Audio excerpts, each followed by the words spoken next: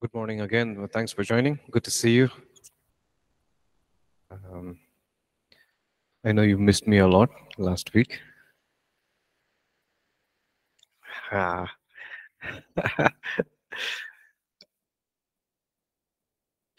yeah, Yeah, I'm a lot better. Uh, but thank you. Thank you for praying as well.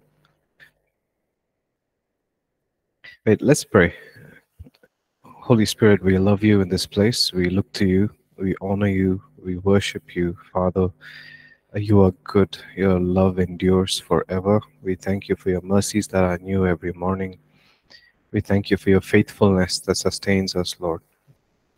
Father, even as we learn from your word once again, Holy Spirit, we lean on your understanding, not on our wisdom, not on not on our own intellectual understanding, but we lean on your understanding. So we prepare our hearts for you to speak to us, and when you speak, uh, help us to be sensitive to your voice, to discern your voice. I pray in Jesus' name, Amen. Okay, let me share the screen for us.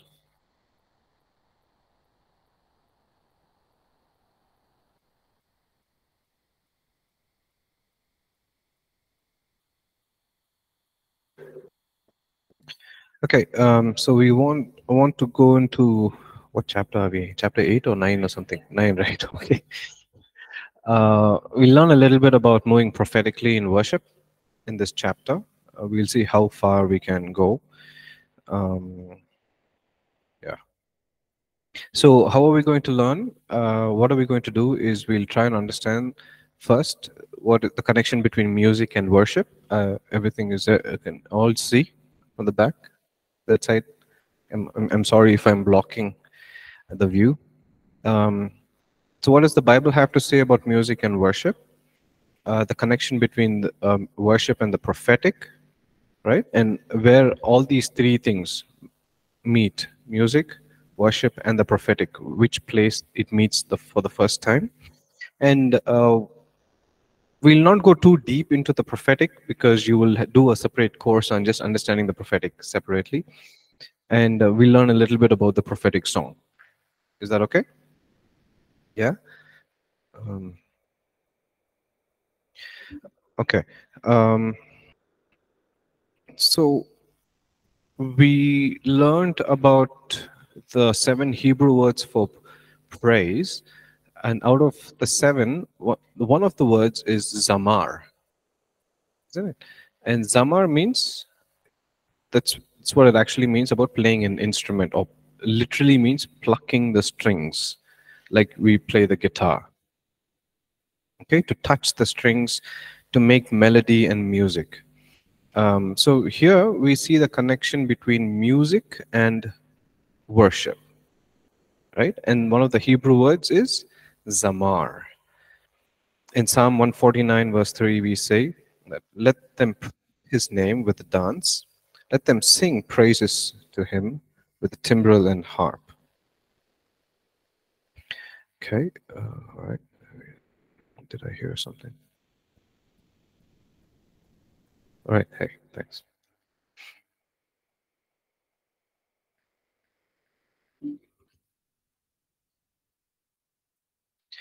Some more scripture on music and worship is Psalm 150, verse 3 to 5. Praise him with the sound of the trumpet.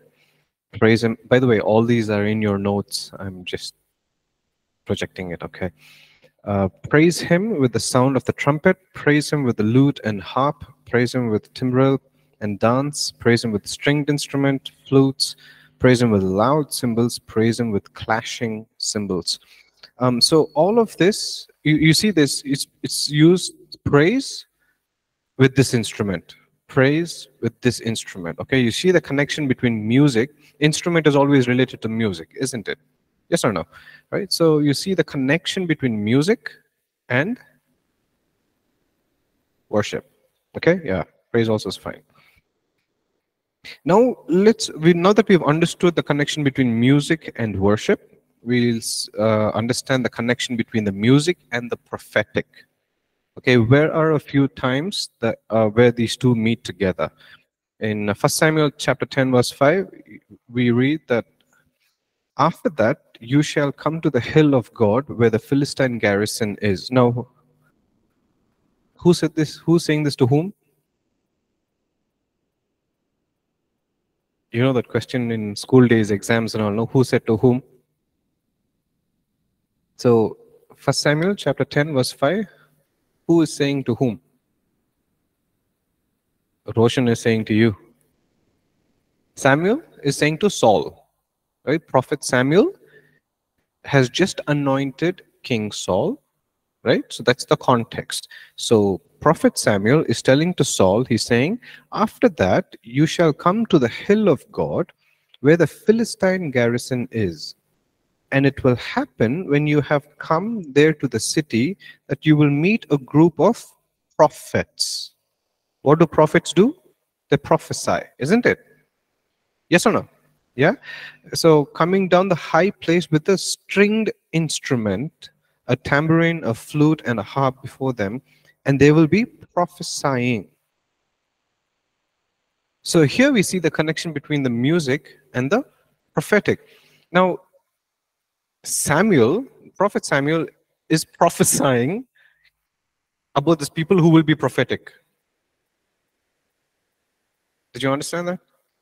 Prophet Samuel is prophesying about a group of people who will be prophesying. And look at the detail that Prophet Samuel is getting into. There will be a group of people, he is even telling what which instrument they will be playing. Right?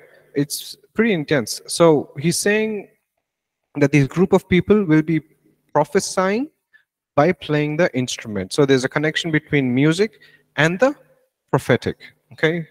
Um, one more example about music and the prophetic is uh, from this chapter, Second Kings, chapter 3, verse 14 to 16. Excuse me.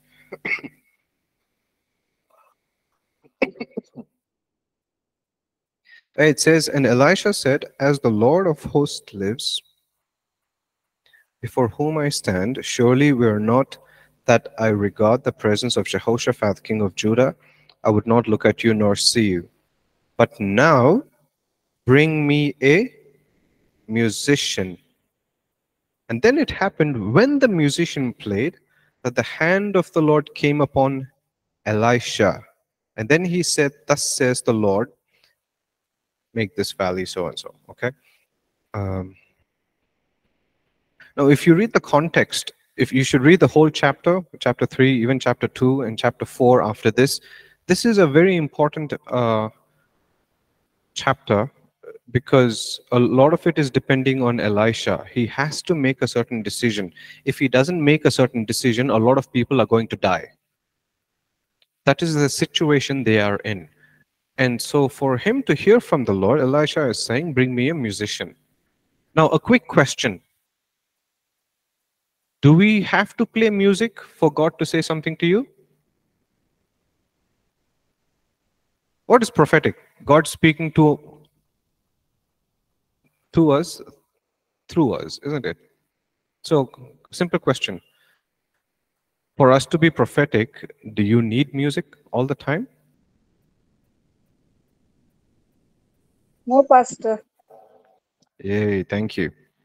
No, right? God can speak without music.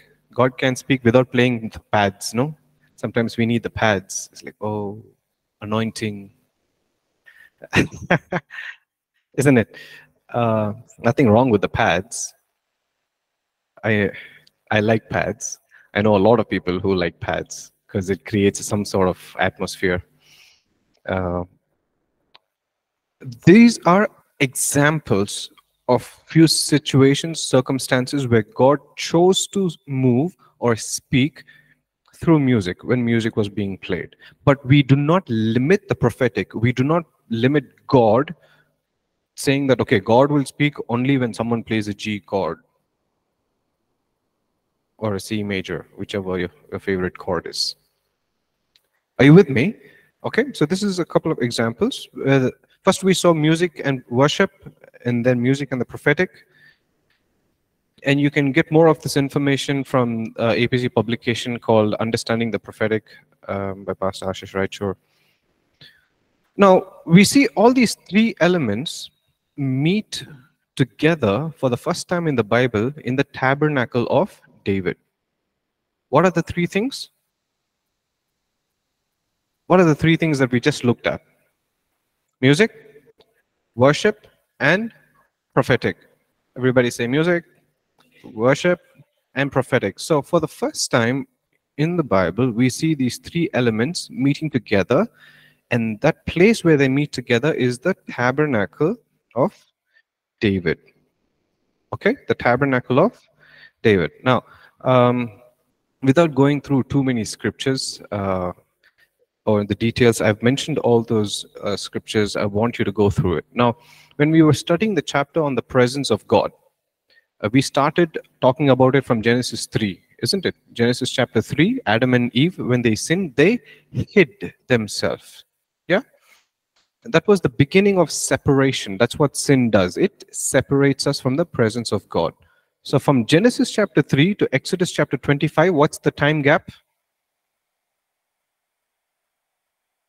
I spoke about it. I taught you. From Genesis chapter 3 to Exodus 25, what is the time gap?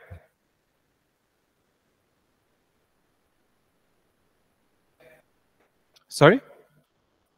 Yeah, 2,500 years. Thank you. Right? So for 2,500 years, there was no dwelling place or resting place for God's presence, isn't it? And until Moses, God chooses Moses and he says, build a tabernacle, a sanctuary, there I will meet with you. Okay, this is in the book of Revelation.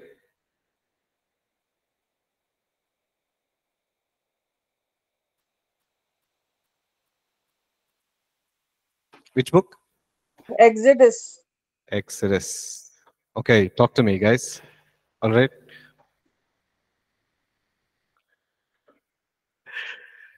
So, from the books of what's what's the next book after Exodus? yeah, okay. Leviticus, Numbers, Deuteronomy, Joshua, Judges. Okay. So, we come to the book of Joshua, we see the people of Israel have stepped into the promised land. Joshua has led them into victory. Okay. Um, how many battles did they win or fight and won? Bible college students. Okay, so when you read through the book of Joshua, they fought almost 30, 31 battles. Okay, now, why am I saying all of this? They had the tabernacle of Moses. In the book of Joshua, you don't read a lot about it. And then when, by the time you come to the book of Judges, they have settled in nicely in the land of flowing with milk and honey. Uh, they've compromised a lifestyle of worship and holiness with the lifestyle of Canaanites. They've begun to build altars of Baal. Uh, you know, that's altars of false worship. The gods that the Canaanites worshipped, Israelites began to worship them. So all of a sudden, there is no scene of where the tabernacle of Moses is. It's like they've lost the site of the place of worship. They've gone back to building altars, false altars of worship. And so in the book of Judges, that's what it is. And then we go into First Samuel, the book of First Samuel, right? We uh, in First Samuel chapter 4, it's and I want to encourage each and every one of you to read that chapter. It's one of the most uh, devastating chapters in the history of Israel. So, what happens? Long story short, still there's no news of the tabernacle of Moses. Uh, we only know that Ark of the Covenant was kept in a place called Shiloh. Everybody say Shiloh. Okay, so we only know that until then we until first samuel chapter 4 we don't really know where even the ark of the covenant is. And so in first samuel chapter 4 we see okay there was a high priest called uh, eli right? And this eli was very old. He was fat and he couldn't move. He was the high priest of the temple. Eli had two sons hophni and phinehas. These two sons were very bad they were supposed to be priests of the temple, but they, the Bible says in 1 Samuel chapter 3 and 4, when you read, they committed sin in the eyes of the Lord. That means they committed sexual immorality. They slept with the women who came to the temple. They were very sinful in all their ways. Okay, who am I talking about? The two sons of Eli, Hophni and Phinehas. Say Hophni and Phinehas. Okay. Jacinta? Do you need something? Okay. Sorry, there was a visitor. Are you all with me? Who was the high priest? Eli, right? Now Eli was very old, he was fat, he did not he could not see. And he had two sons, Hophni and Phinehas. I'm paraphrasing chapter 4, First Samuel chapter 4, okay? Now, what happened? Philistines began to attack Israel. Okay? They began to attack Israel. Now, Israel didn't know what to do. And so, what they said, they read the history books. It's like, oh, history. In the history book, it says, before, when they carried the Ark of the Covenant and went into the battle, they won the battle. And so they thought, okay, let us go get the Ark of the Covenant from a place called Shiloh, and then we'll go into the battle and we'll win the battle against the Philistines. So they bring the Ark of the Covenant. And everybody starts shouting, celebrating. It's like, yay, Ark of the Covenant is here, Israelites. We are going to win against the Philistines. And Philistines hear this. It's like, what is this screaming and, and shouting? Seems like the Ark of the Covenant is in their midst. Surely we are doomed. But what happened? They go into battle. Israel lose miserably. 30,000 men are killed. 30,000 people of Israel, men, are killed in that battle. They lost terribly. 30,000. It's not a small number. And so, okay, 30,000 people are killed. And then what happens is the Philistines take the Ark of the Covenant and go into, the, into their territory, into their land. They've taken away. And so there's one messenger who comes running and he says, Eli, your two sons are died. They died in the battle. And then he says another news. The Philistines have taken away the Ark of the Covenant. And when Eli heard that news, it says Eli fell off the throne, he broke his neck, and he died. And one of the wives of the sons of Eli, when she heard that her husband had died, she was pregnant, she goes into labor and she names her son Ichabod. You know what Ichabod means? Glory has departed. Everything what I've just said is in 1 Samuel chapter 4. Okay? Ichabod. That means the glory has departed two sons of Eli thought that they could win the battle without any relationship with God. They thought, okay, this is the secret formula. We'll just do this. What they did, we will do it, we will win. Without intimacy with God, without no relationship with God, they thought they could win the battle. But they lost miserably. Ichabod, the glory had departed. Now, where are we? In First Samuel chapter 4.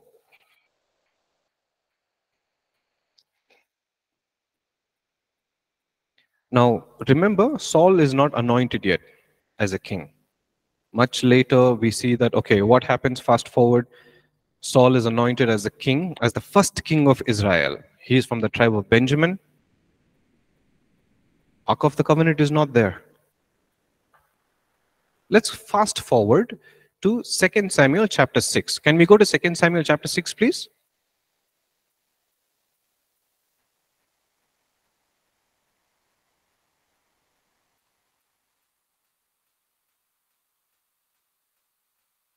So 2 Samuel chapter 6, verse 1, what does it say?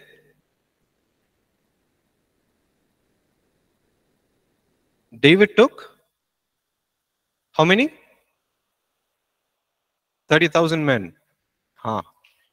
So from 1 Samuel chapter 4, when the Ark of the Covenant was taken, to 2 Samuel chapter 6, that is approximately the time gap again is 70 odd years. How many years? Okay, all of these are very important for you to remember because for 70 years, there was not a single person who felt the need to go after the presence of God.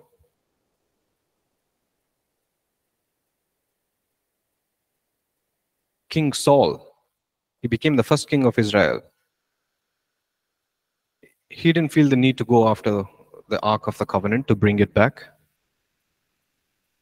Finally, a person called David so David is first anointed in First Samuel chapter 16, 16 I think, yeah, because chapter 17 is about David and Goliath. So David, Saul, uh, uh, Samuel anoints David as a king in First Samuel chapter 16, but then he goes through a wilderness period for 14 years. And so until Second Samuel chapter 6, David finally decides to bring the Ark of the Covenant back. Again, David must have gone to the history books and said, on the day the Ark of the Covenant was taken, 30,000 men were killed. So I'm going to take the same number of men and go to bring the presence of God back. Are you with me? This is a little bit of a history lesson, but it's a very important history lesson. Okay, so 70 years until 2 Samuel chapter 6, the gap between 1 Samuel 4 and 2 Samuel 6. And so he comes and sets up the tabernacle. Um, you'll read more about it there. Um, so Moses' tabernacle had a veil. David's tabernacle had no veil. Right? There was no curtain. There was no outer courts, inner courts, nothing. It was just open for everyone. Right? Now, why is David so significant is David, although he lived in the old covenant, he lived as though he was living in the new covenant. Did you follow? Should I say that again? Although David was living in the old covenant, he lived from the perspective of the new covenant. What is the new covenant? There is no veil. The presence of God is available to all of us, isn't it? We don't have to go through, enter the gates, wash our hands, all of that. Okay, so this is the tabernacle. Let's go a little bit more about the David's tabernacle. You'll read more about it in detail in First Chronicles 25, and we'll learn more about it in detail in your third year course on worship ministry. Okay. Until then, if you're here, First Chronicles chapter 25. Okay, so you in that chapter you will see all these uh, details. In David's tabernacle, there were, he set up about 288 singers and 4,000 musicians. How many? Yeah. That's a lot of musicians. And there's more. He said about 4,000 gatekeepers. If you can fathom that, you teach me how to understand it because it's just amazing and he is the david was the first person to set up this 24 7 worship so for 24 hours for seven days do you know for how many years it went on? 33 years. The david's tabernacle with worship day and night 24 hours for seven days it went on for 33 years. Same duration as jesus' life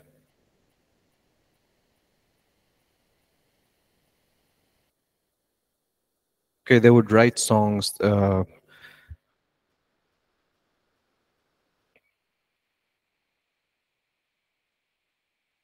So, First Chronicles chapter 25, verse 1, it says, David and the commanders of the army set aside the sons of Asaph, Heman, and Jeduthun for the ministry of prophesying. And that's what it will say. First Chronicles 25, verse 1, is that what it says? Am I right?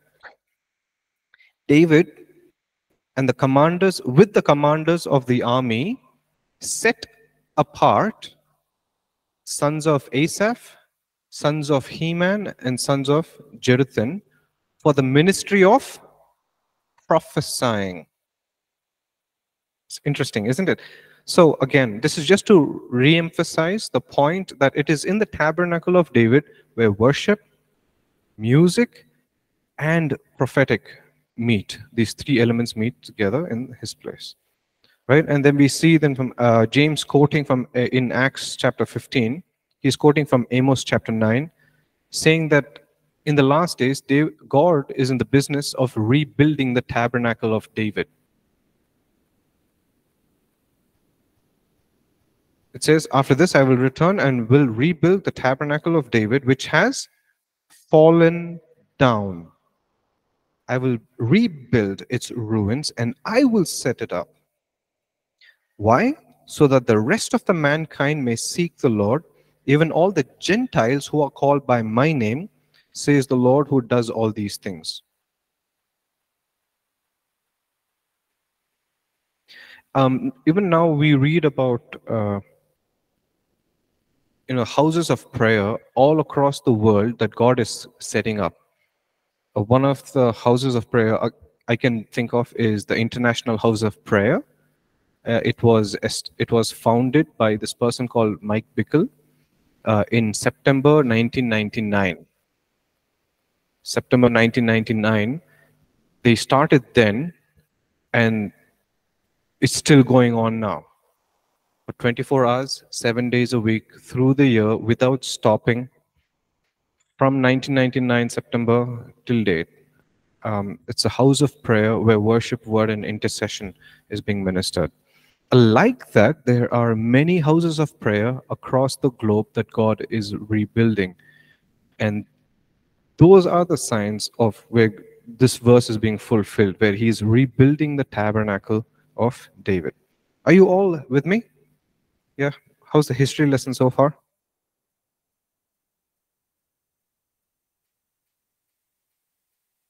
Does anybody like history? Shame on you. I'm just kidding. Just kidding. history is important. It it it tells us where we come from right? Uh, who we are, where we come from. It's very important. So if, um, all right, all right, let's move on. Okay, all right, okay. So remember, we are learning about the prophetic word, uh, how to move prophetically in worship. So let's understand a little bit about what a prophetic word is. So what is the prophetic? If anybody asks you this question, what is prophetic? You just you can simply say this prophecy is simply God speaking to man through man. Yeah, can we read that together? Ready? Go. Prophecy, God speaking to man through man. The Holy Spirit communicates the heart and mind of God to our spirit. Simple. Right? It's God speaking to man through man. Right? He speaks to me, and if I release the prophetic word, so he's spoken the word to me through me. That's what a prophetic word is, right? And he can do the same thing with you through you. Do you believe that? Do you believe that? Okay, do you believe that God speaks to us?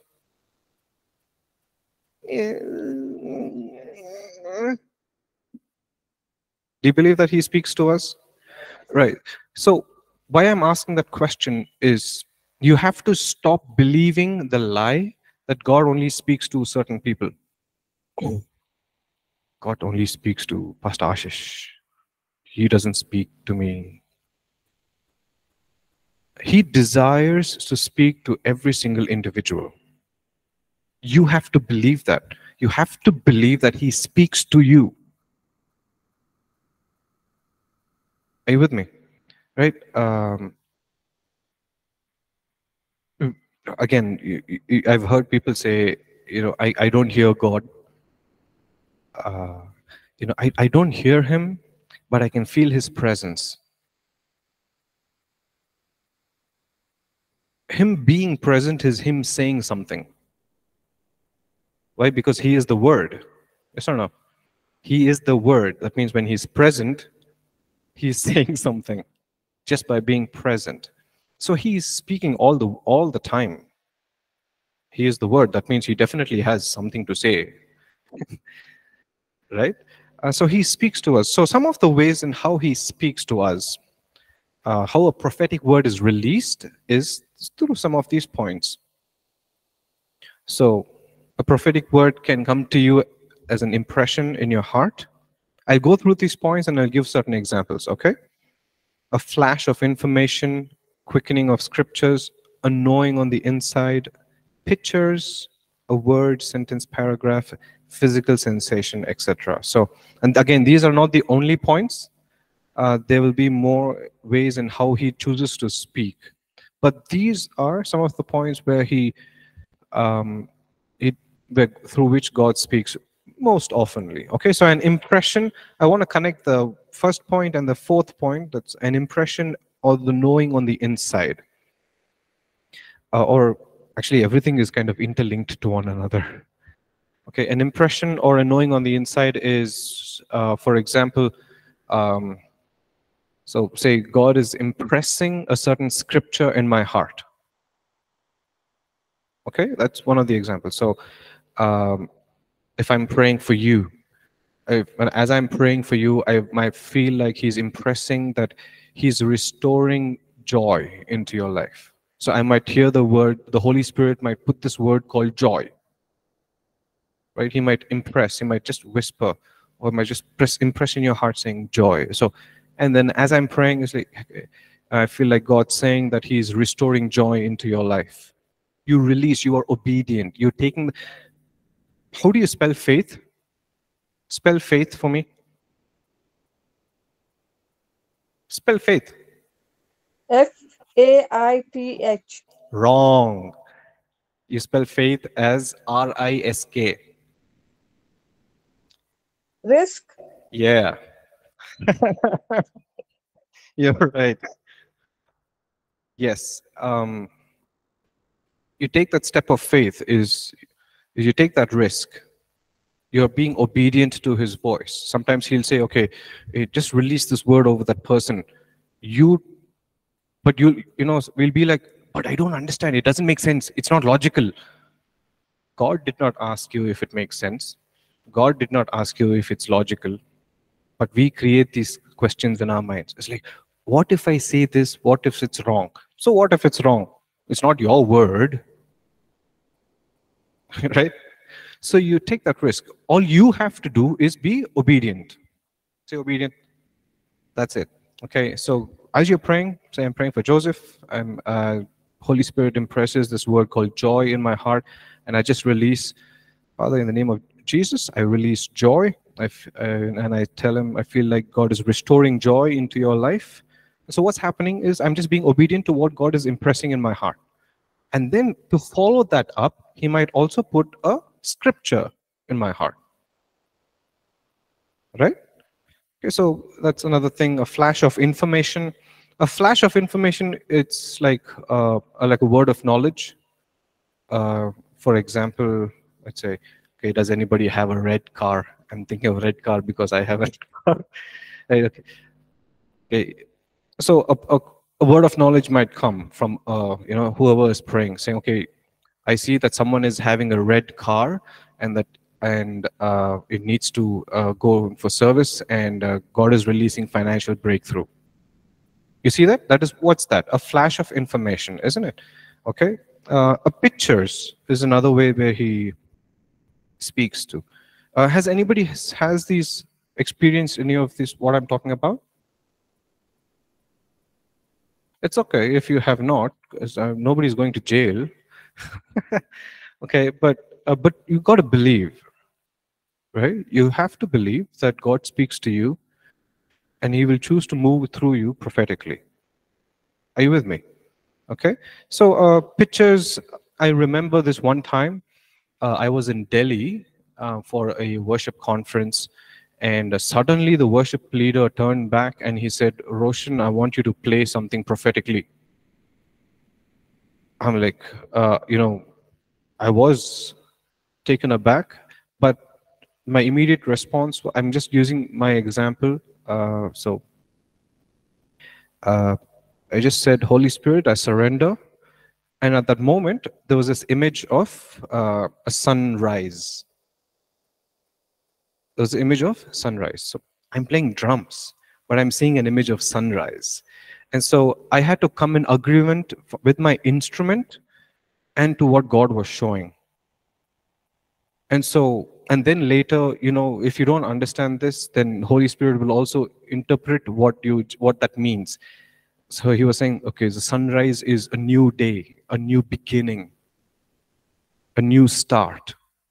So that's what God was releasing in that room at that time. And I was coming in agreement with my instrument on the drums. Are you with me? And so that way, he, again, he might choose to release pictures uh, and speak to us through us as well. Word, sentence, paragraph, physical sensations, etc. Okay, so this these are the few ways and how a prophetic word can be released. Right? What's the time? Okay. All okay? All right. Um, so what does a prophetic word do? Why is it important? A prophetic word brings edification, exhortation, and comfort. The second point is very important. It's not self-serving. It does not tear down, but to call out destiny. Right? A prophetic word will always bring out edification, exhortation. It will always bring encouragement and comfort. It will convict, but it will not, it will not condemn.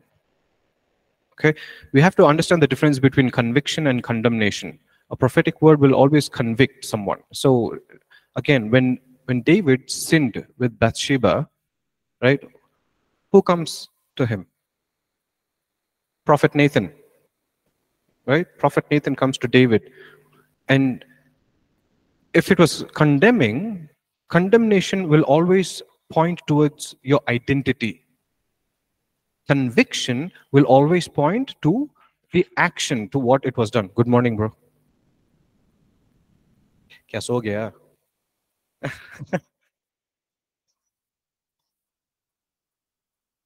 Everything is falling in class today. I don't know what's happening. okay.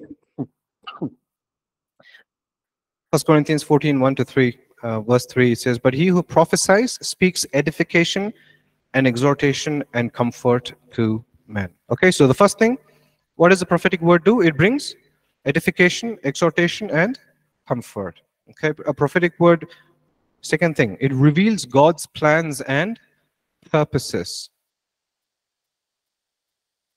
A prophetic word, it stirs up and causes up to move in faith. First Timothy chapter 1, verse 18 says, This charge I commit to you, son Timothy, according to the prophecies previously made concerning you, that by them you may wage the good warfare. So, because of the prophetic words that's been released over you, spoken over you, use them to wage war, right? So, prophetic word causes us to move in faith a prophetic word provides motivation and strength to carry out God's purposes and plans. And prophetic words, it releases God's power on healing, deliverance, and breakthroughs. Finally, prophetic word, uh, sorry, not the final one. It brings correction and restoration. It's the example we just spoke about, about uh, Prophet Nathan and King David. Right? Look at that. It brings correction and restoration.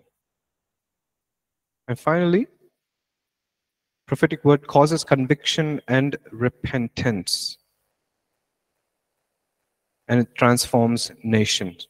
So what are all the eight things that a prophetic word does? Things edification, exhortation. It reveals God's plans and purposes. It encourages us to move in faith. It gives us motivation and strength to carry out God's plans. It releases God's power brings correction and restoration, causes conviction and repentance, and transforms nation. Okay, these are all what a prophetic word can do. Yes? Now, everything what a prophetic word can do, the same thing will be done through a prophetic song. Okay? All the eight things what a prophetic word can do, the same thing can be done with a prophetic song. The same thing is released through a prophetic song. So prophetic song accomplishes all that the prophetic word does. Yeah? Okay. So uh, what is a prophetic song? Now, there's one Hebrew word for worship or praise. That means to sing a spontaneous song to the Lord. What's that Hebrew word?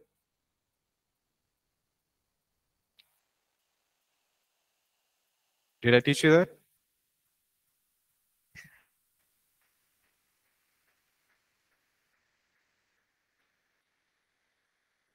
Hmm. Let's throw some seven out of the seven. We'll throw one Hebrew word. Something must be right. What is Shabach? Ah, it's not spontaneous. What's the one Hebrew word?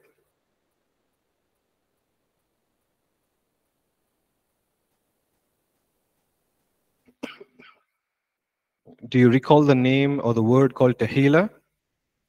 Ah, yes, sir.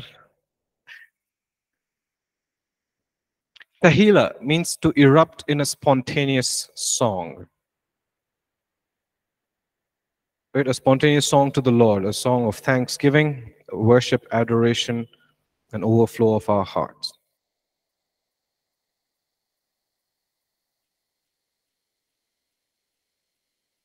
A new song sung when God does a new thing in our lives. Psalm 33, verse 3 says, Sing to him a, a new song. Psalm 40, verse 3 says, He's put a new song in my mouth. Okay, uh, if you read that verse, Psalm 40, verse 3, it says, He has put a new song. It doesn't say He may put, He might put, He will put. No, He has already put right? He has put a new song in someone else's mouth. Ah. he's put a new song in my mouth. But if you complete that verse, it says, He's put a new song in my mouth, a hymn of praise to my God. Why? So many will see and fear and put their trust in Him.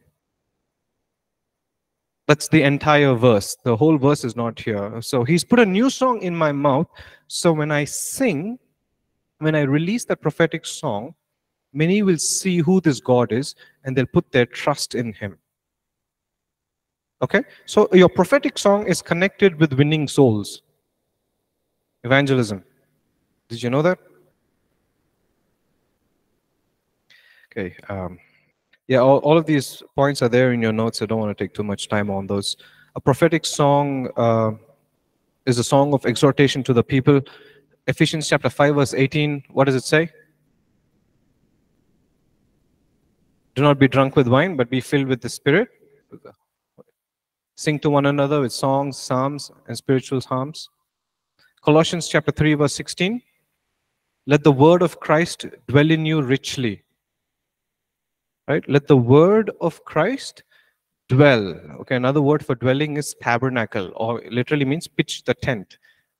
Okay, let the word of God dwell in you. Let it pitch, let it put one tent in your heart and stay there. And then sing to one another with songs, psalms, and spiritual songs. A prophetic song is declarative in nature. So, how do we prepare? This is a classic question um, again, there's no any secret ingredient here in how to move in the prophetic. The first thing what you have to do is you have to believe that God will speak to you and God can speak through you, right? Once you believe that, the next thing is not uh, an uh, excuse. Uh, your relationship and walk with the walk with the Lord. Intimacy is intimacy is key. Yes? Um, and I've, I think I've shared this example before. Um, if, a if our best friend or our father or our mother calls, um, you, you will recognize their voice immediately, isn't it? Yes? Um, so if my father calls me on the phone, I'm not going to say, uh, Who's this? Who's speaking? I will immediately recognize my father's voice. Why? Because I have built a relationship with him. And so when God speaks to you, you begin to learn and memorize the way he speaks to you. Because the way he speaks to you will be very different from the way he speaks to me. Are you with me? So you have to begin to learn to recognize the voice of God. He might not always say, Behold, Dan, where are you? Where art thou? No, he's not always going to do that in his bass voice and all of that. Right? He might speak the way he wants to speak. It's up to you to remember that. And the next time when he speaks, don't ask, Who's this? Who's this? Right? You begin to recognize, okay, this is the Lord. This is the Lord, right? So, relationship with the Lord, intimacy is key, and pray in the Word of God. Um, expectation is the point that I made. You have to believe that God will speak to you. You expect Him to speak to you. And you be sensitive to His leading. Okay? Um, I'll just, so I think I've shared uh, with you in how I approach my private time. You don't have to do that. So if you have, if I have one hour, I divide that into 20 minutes, three times 20 minutes, 20 minutes, 20 minutes uh, you read the word, you worship, and you pray in tongues, etc.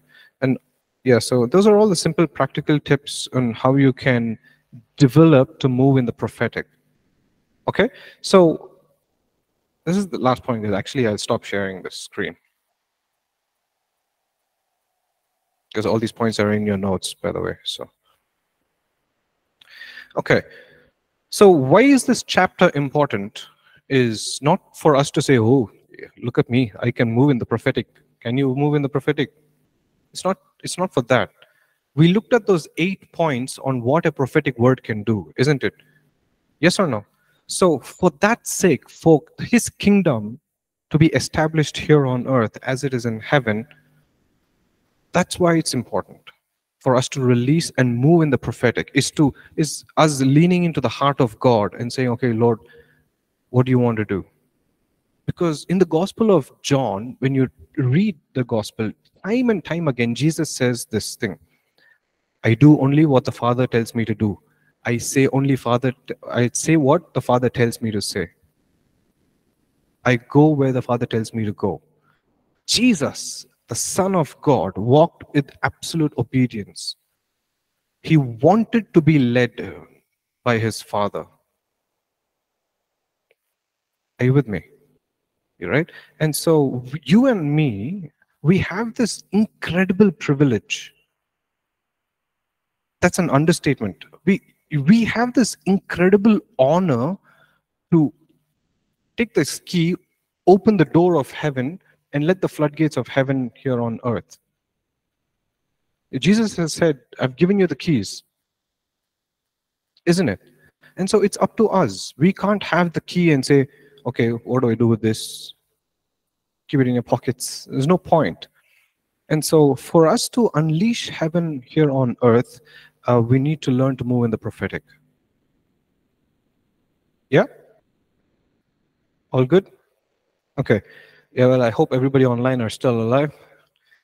Uh, thanks for joining. Okay, we've exceeded the time by a minute. Okay, God bless you. Thanks for joining. I'll see you Thursday. Thank you very much, sir. We are alive.